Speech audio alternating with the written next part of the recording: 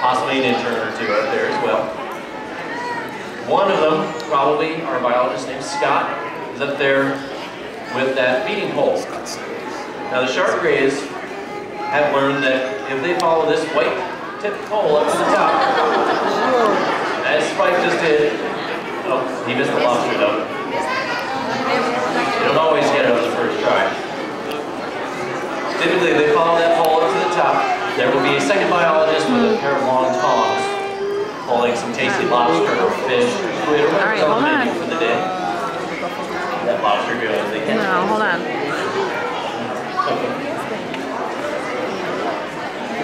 What they're gonna do.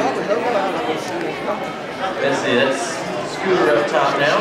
They're gonna try to guide each individual shark up to the top.